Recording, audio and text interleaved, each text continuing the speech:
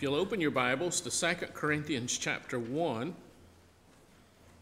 2 Corinthians chapter 1, Paul writes this letter to the church at Corinth. It's the most personal of his letters as he addresses issues that have to deal with his being attacked. Attacked by the super apostles and false apostles who'd come to Corinth, uh, seeking to cash in on the largesse that had come to that church the church had grown tremendously. There was a lot to offer there. There were lots of issues, as we saw in the first letter. But part of what was going on is that Paul's plans had changed. And because of that, some people criticized him. Some seized the opportunity to denigrate him and cast doubt upon him as an apostle in seeking to gain a gathering and a following for themselves. That's the backdrop as we begin reading at verse 12. 1 Corinthians, 2 Corinthians chapter 1, verse 12, this is the word of God. Now this is our boast. Our conscience testifies that we have conducted ourselves in the world, and especially in our relations with you, with integrity and godly sincerity. We have done so relying not on worldly wisdom, but on God's grace. For we do not write you anything you cannot read or understand. And I hope that as you have understood us in part, you will come to understand fully that you can boast of us, just as we will boast of you in the day of the Lord Jesus. Because I was confident of this, I wanted to visit you first so that you might benefit twice. I wanted to visit you on my way to Macedonia and to come back to you from Macedonia and then to have you send me on my way to Judea. Was I fickle when I intended to do this? Or do I make my plans in a worldly manner so that in the same breath I say both yes, yes, and no, no? But as surely as God is faithful, our message to you is not yes and no. For the Son of God, Jesus Christ, was preached among you by us, by me and Silas and Timothy was not yes and no, but in him it has always been yes. For no matter how many promises God has made, they are yes in Christ.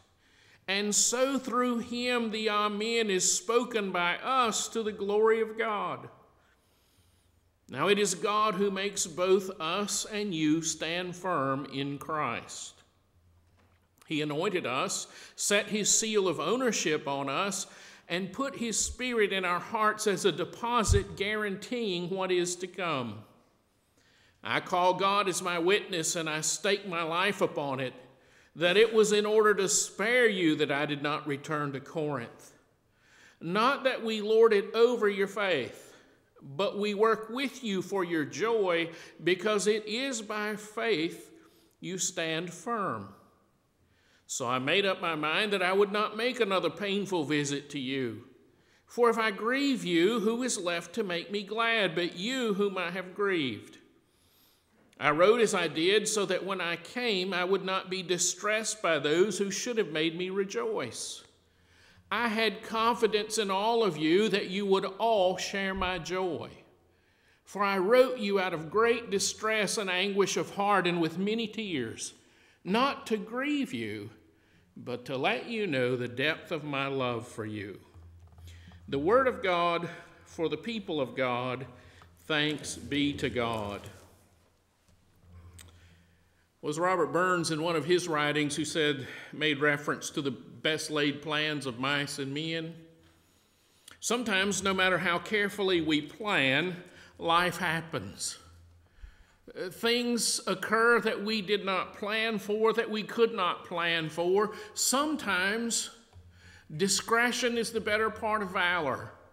So to make a change is much more profitable than to keep plowing ahead. It's what happened with Paul. And some people were on the outs with him because of it.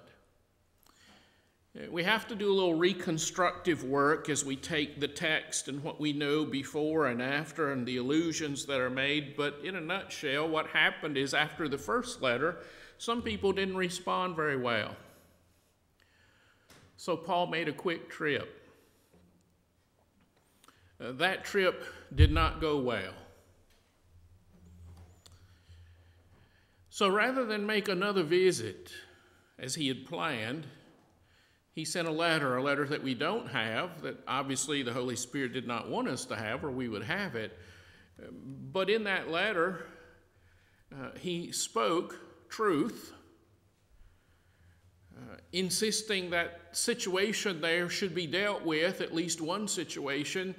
He called it in another place a sorrowful letter. And he sent Timothy, Titus. They corresponded and they took it for him. Uh, some said, Paul, you said you were going to come twice and you didn't, so we can't trust you. You tell us one thing and do another. Some use this occasion to say, Oh, wow, you're strong in your letters. Boy, you write tough stuff, but when you show up, you're all conciliatory and gracious. And when you come toward the end of this letter in one place, he says, You either deal with it or when I come, you'll find out. I can be just as tough in person as I am in my letters. What you see in this passage is Paul explaining what had happened and what his motivation was you see a man who humbles himself because he loves these people. These are his children in the faith. You do a whole lot for your children that you wouldn't do for other people by way of making right relationships and turning the other cheek and biting your tongue and humbling yourself in order to maintain healthy relationships. You become more vulnerable with those people because you value and cherish that relationship. And so, what we see Paul doing is modeling for us how we ought to treat relationships with believers. And you'll notice he begins by saying, Now, this is our boast he says, This is something we can put out there and tell you without any equivocation. Our conscience testifies that we have conducted ourselves in the world, and especially in our relations with you, with integrity and sincerity. Can you say that in your relationships, especially with other believers, you are a person of integrity and sincerity. I know sometimes I've heard that people have said so and so that sounds really uh, difficult, difficult for me to take. And usually it comes by way of a third party, and you begin to wonder what their purpose is in telling you that so and so said this. But often that's been diffused because I say, well, you know, I know so and so. And I know they would never say anything like that and mean it the way you've communicated. Integrity. Because I know that person. I knew that wasn't the relationship that I had with them. Are we living lives so that our relationships with one another are built on integrity and sincerity? That's where Paul begins. He said, We've done this not relying on worldly wisdom, but on grace. In our relationship with you, we don't make plans, we don't conduct ourselves just by the wisdom of the world, but rather we seek to deal with you by grace. Isn't that how Christians deal with one another or should deal with one another? Shouldn't we be gracious in our relationships with one another? Shouldn't we be people who are known for our dependence upon God's grace?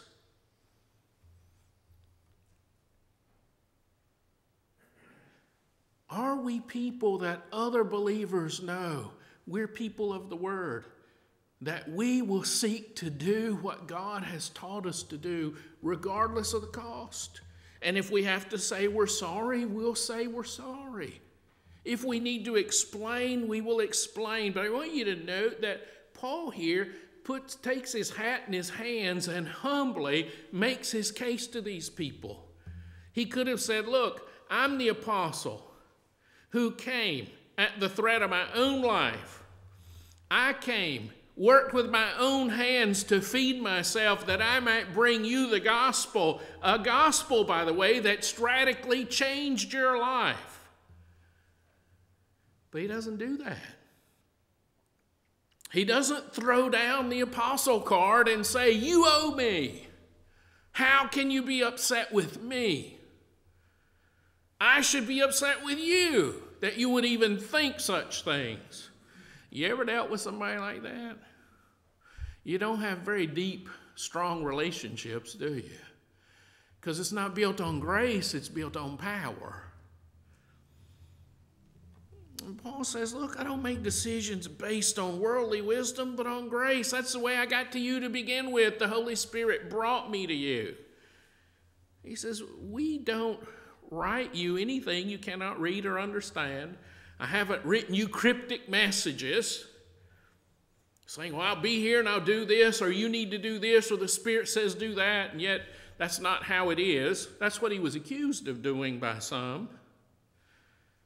And he says, And I hope that as you understood us in part, you'll come to understand fully that you can boast of us just as we will boast of you in the day of the Lord Jesus. Get this. He is affirming their relationship together as brothers and sisters in Christ. You see what he's doing? He's saying the basis of our relationship is Christ. And I pray that someday you will understand and you'll be able to boast of me the way I will boast of you on the day of the Lord Jesus. He doesn't cut them off. He doesn't lay down these parameters and say, oh, if you do this or if you don't do that, then we're not going to have a good relationship. No, he's dealing honestly with them. So in verse 15, he says, Because I was confident of that, because I was confident of who you are in Christ, I wanted to visit you first. So he says, Here was my original plan to make two visits. Was I fickle? Verse 17. That's what he was. I think we could quote that verbatim that he was accused of being fickle. In the emails that went around, oh, that Paul, he's fickle. I'm convinced that word was contained in the messages that got back to Paul. Oh, he's fickle. You can't count on him. I understand that attitude. Uh, Tuesday, they were predicting snow, right? It's going to start at 1 o'clock in the morning, and by the time you get up Wednesday, you're going to have trouble getting to work. Then they said at 11 o'clock, it's going to start in about 3 o'clock. So about 6:30 I get up and there's nothing nowhere. So Kay had gone home after the circle meeting lest she get snowed in in Biscoe when she needed to be in Sanford. And I look out there and I say, okay, my wife is in Sanford, I'm in Biscoe, and there's no snow anywhere. It's a grand conspiracy between the weathermen and Walmart to sell eggs and milk and bread. And that's what I wrote in an email to her. and of course, I hit the send button and I feel very good with myself that I vented my spleen and I'll get on to important work of Bible study and Ah, but about 8 o'clock, I looked out the window. Now gone, it is snowing. At 8:30, it was beginning to cover the grass. At a quarter to nine, it was beginning to creep out on the edge of the street. And by the way, if that's your front end in front of my house, pick it up on the way home.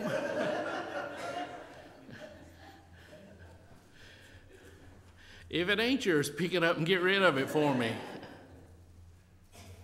By 9:30, I said, "Oops." Open mouth, insert foot. Fickle.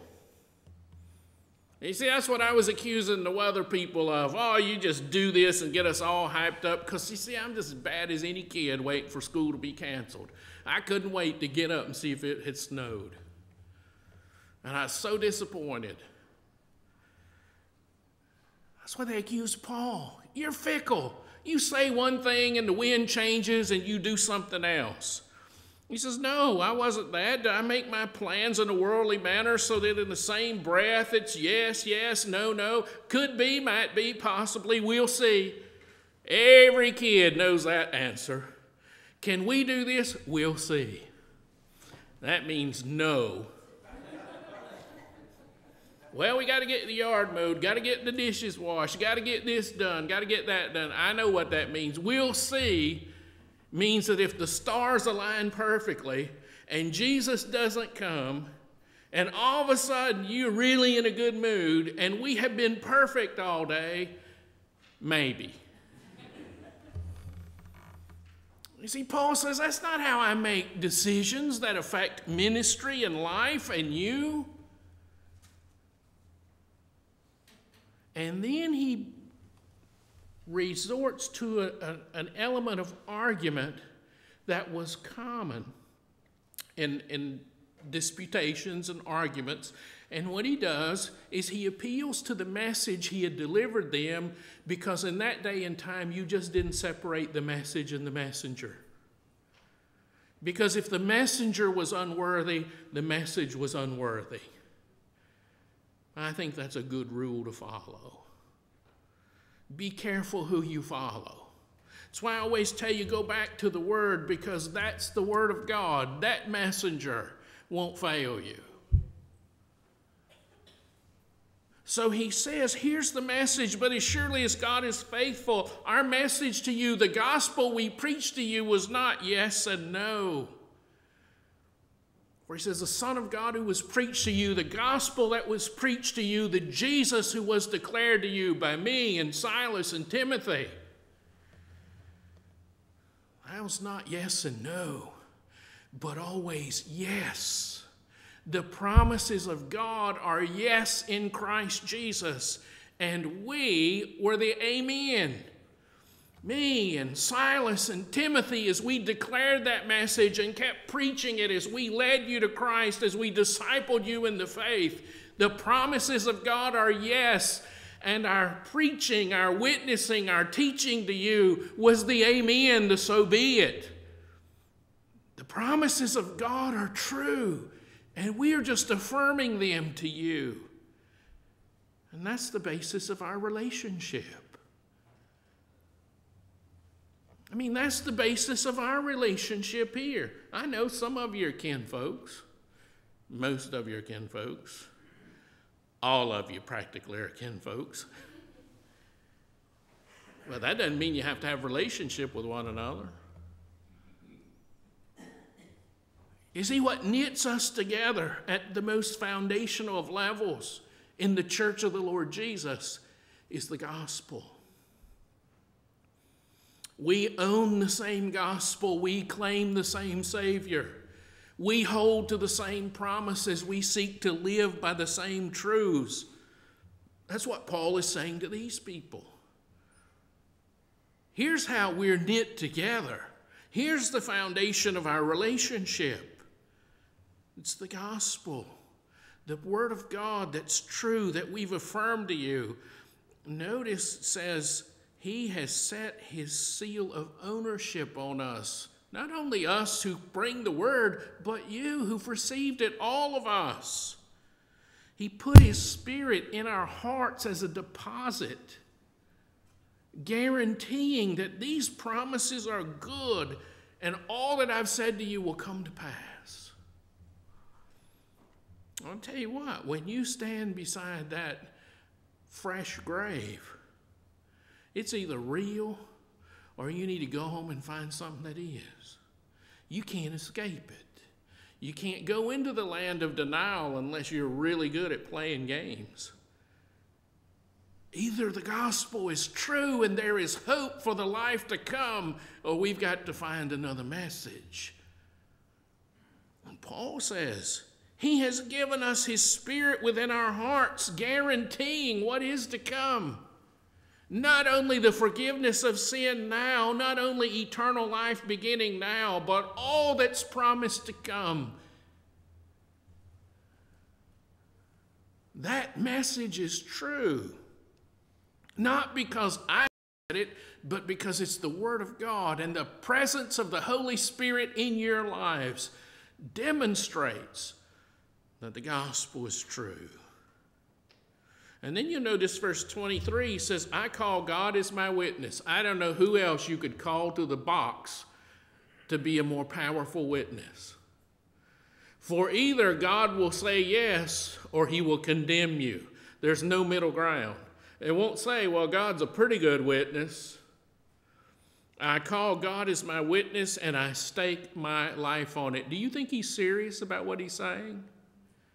These aren't just throwaway words. It's not, you know, cross my heart and hope to die, stick a needle in my eye, you know, the things you used to say as a kid. No. He says, I stake my life on it. Here's why I didn't come back to spare you pain. He says, As I looked at things and prayed about things, I realized that a return trip this soon would do nothing to help the cause. It would only agitate, aggravate. So I sought God, allowing the Spirit who is in you to work.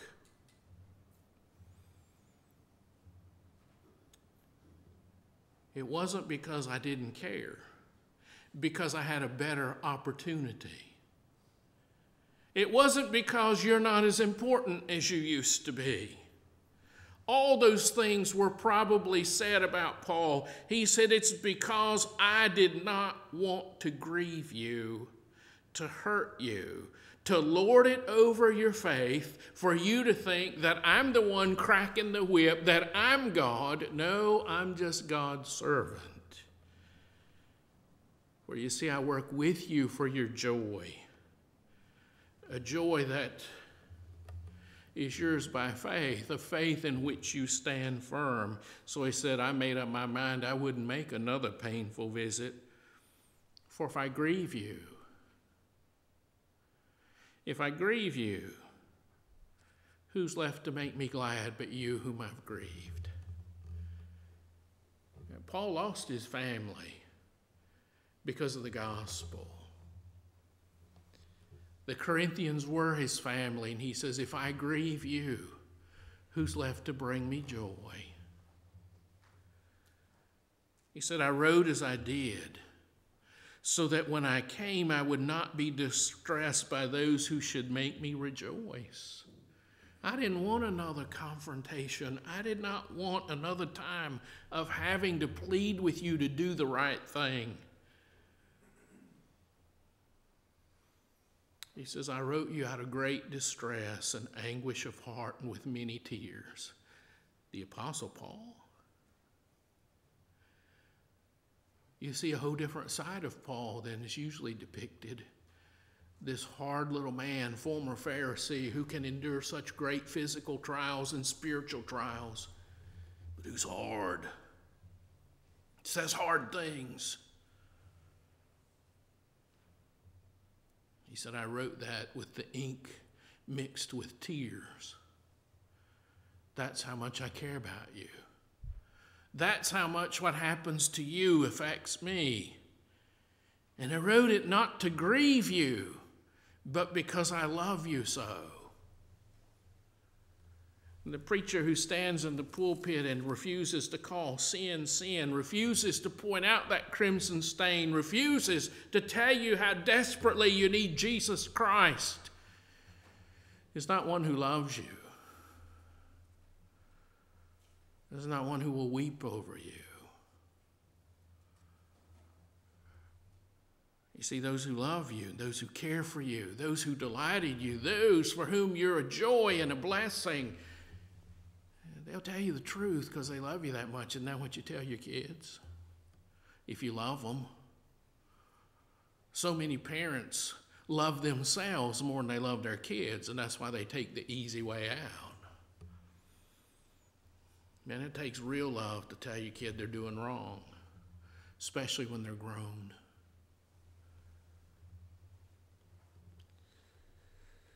You don't hound them, you don't hassle them. You say, I love you too much. To not tell you the bridge is out, and if you keep going, you go into destruction. You see, that's what Paul says. And as believers, we have that relationship in Christ.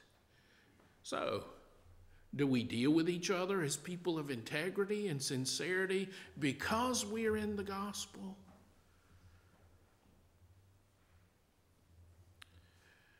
Many, many churches today are full of torment and strife and turmoil. And I'm convinced it's because so many claim Christ, but they don't really know Him. Because isn't it amazing when you deal with people on the basis of the gospel, seeking God and His grace, as people of integrity and sincerity? You don't jump at the first thing that rubs you raw. You say, Well, I know so and so.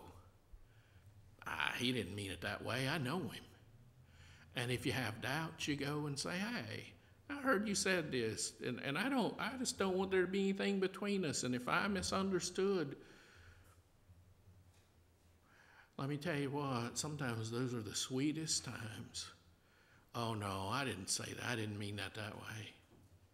Or I was just upset and blowing steam and you just happened to catch a little of it. Will you forgive me?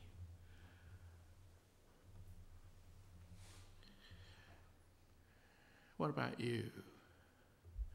You see, you can't be a person of integrity and sincerity in the gospel if you're not walking with the Christ of the gospel.